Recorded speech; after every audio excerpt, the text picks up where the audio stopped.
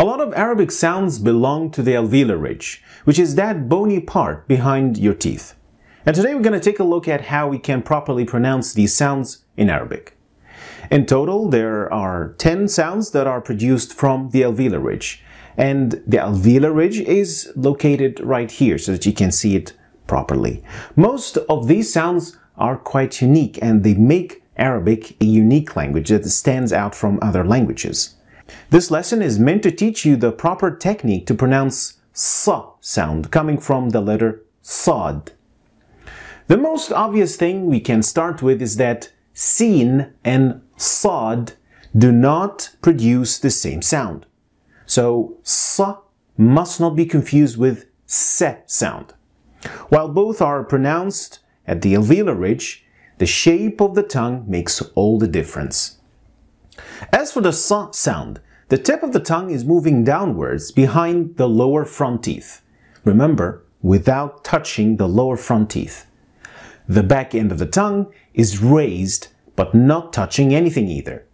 So your tongue should look like that. The tip is moving downwards and the back is moving upwards without touching anything. Air passes through and the sound is produced through the friction happening at the alveolar ridge. Remember, the most important part in pronouncing the sa is that the back of your tongue is raised. It must be raised.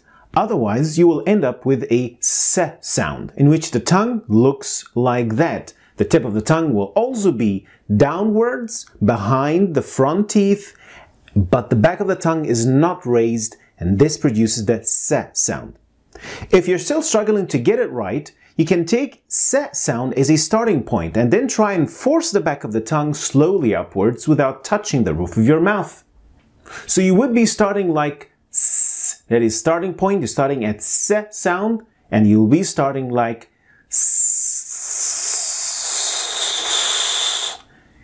You're going to try to force the back end of your tongue upwards without touching the roof of your mouth. And to help you hear and identify the differences, here are some minimal pairs. First, need to focus on hearing the sound and then try to replicate it.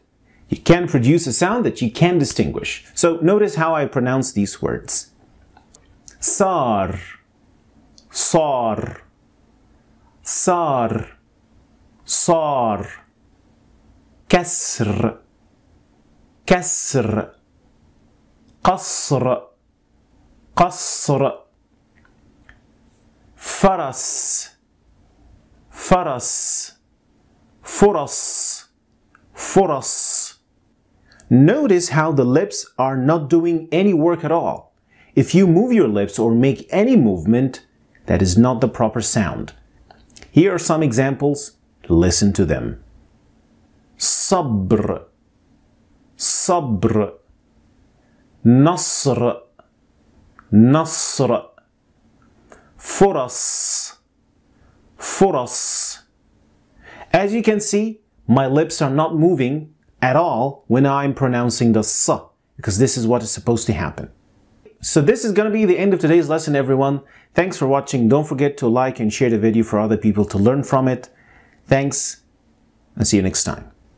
Salam.